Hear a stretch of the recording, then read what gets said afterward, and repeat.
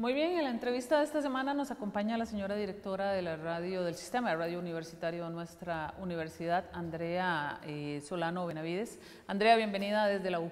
Muchas gracias, es un honor.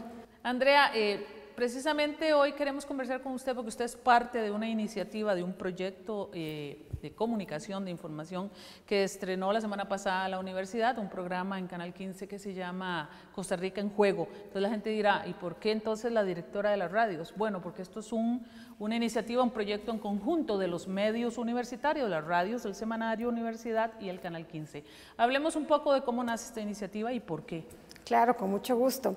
Como usted lo ha dicho, en realidad es una iniciativa de los tres medios de la Universidad de Costa Rica. Recordemos que somos un sistema de medios de comunicación y pues el, objetivo es poder desarrollar estrategias en conjunto que nos puedan beneficiar tanto a nosotros como a nuestros públicos. Entonces, en el marco de UCR Electoral, que también UCR Electoral es un proyecto universitario este, liderado por la ODI, pero que involucra a todos los, muchas unidades de la universidad, no solamente los medios, sino también institutos de investigación.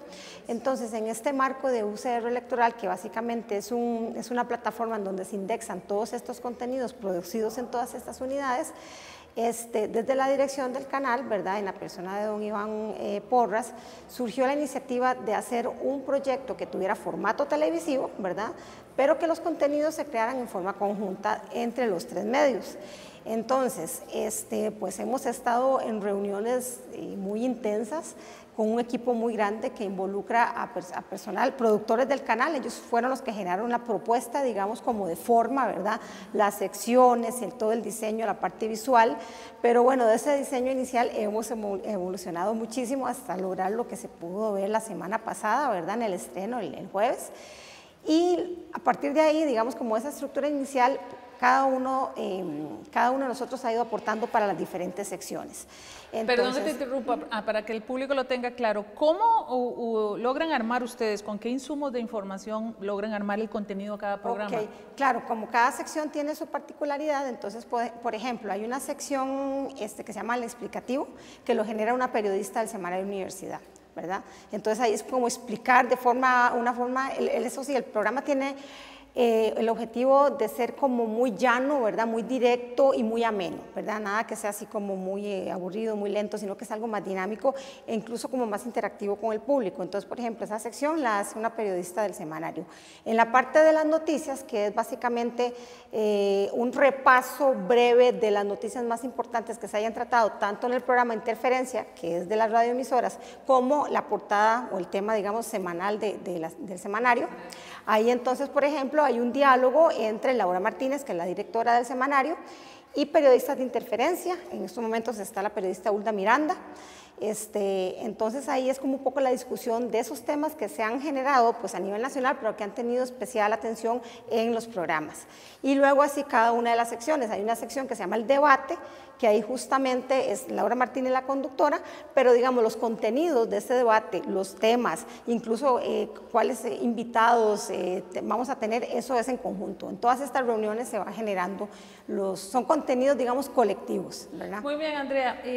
Este es un, espacio que a lo largo de los tres meses que nos separan de las elecciones en febrero, pues le va a servir al público para informarse, para eh, tratar de entender un poco. Pero mi pregunta es, ya para terminar la entrevista, hay muchos espacios de opinión en el país, sobre todo cuando viene la época electoral.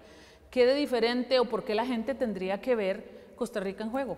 Claro, eh, pues sí, como usted lo dice, hay muchos espacios de opinión, pero esto no es, no es solo de opinión, porque en realidad hay un segmento de, pues de opinión, análisis, que es las noticias, pero hay uno que es el debate. Y justamente creo que hay un elemento diferenciador. ¿Por qué? Porque ahorita en todos estos programas que usted menciona, que en efecto están en, emisoras y en canales nacionales, es mucho eso, una entrevista al candidato o un análisis entre, no sé, un experto, un politólogo y, el, incluso entre los periodistas el politólogo puede que esté el candidato o un diputado, pero aquí hay eh, el, elemento de, de discusión de un tema central en donde hay posiciones encontradas. Entonces lo pudimos ver eh, en el debate de la semana pasada entre don José María Villalta y el señor Malabas. Ajá. Eh, sobre el tema este de la posible explotación de, recursos naturales y pues sí se generó el debate.